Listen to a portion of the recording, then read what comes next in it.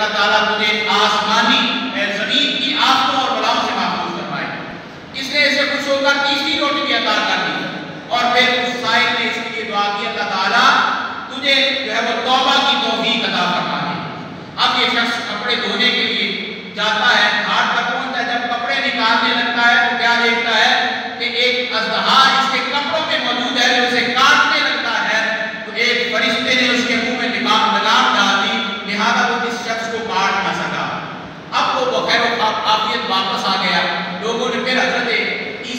सलाम की बारगाह में अर्ज़ की है, अल्लाह के पाक पैगंबर।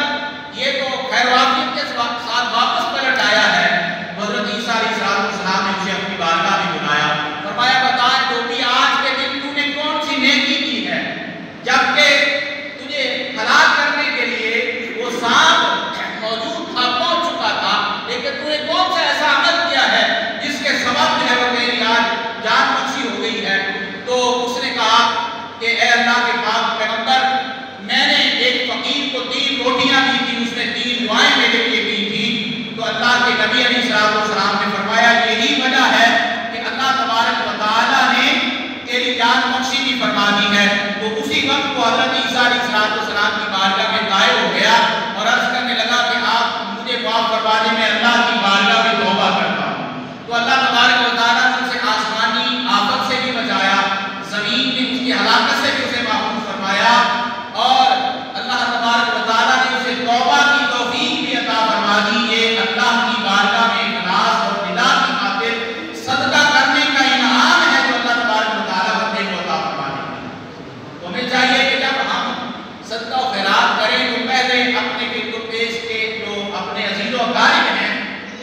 देखें, क्योंकि उन पर खर्च करना जो है वो, ये डबल हमें सवाब हासिल हो जाता है। और हजूर अली सलाम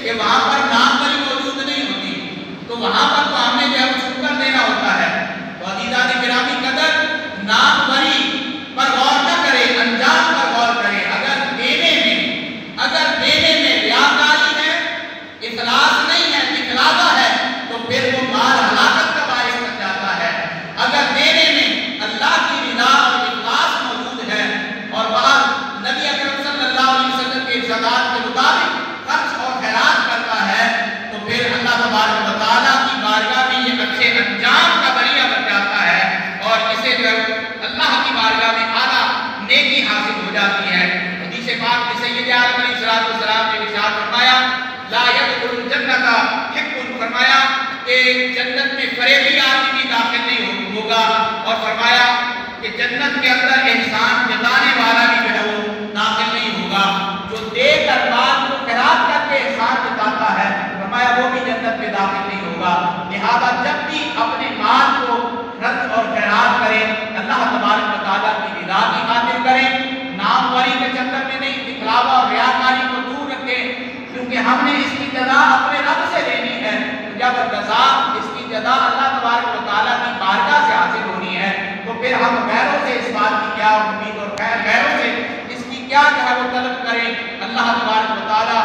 सबको नबी तो आलम की आदि से तकलीबा के मुताबिक अपने मालों को अल्लाह की राह में आला तरीके से खर्च करने की, इखलास के साथ खर्च करने की तोफीक की अता फरमाए। और अल्लाह पाक हम सबको इस हवाले से भी अपने खानदानी अदीब वकारी रिश्तेदारों के साथ किसी रहने की तोफीक अता फरमाए।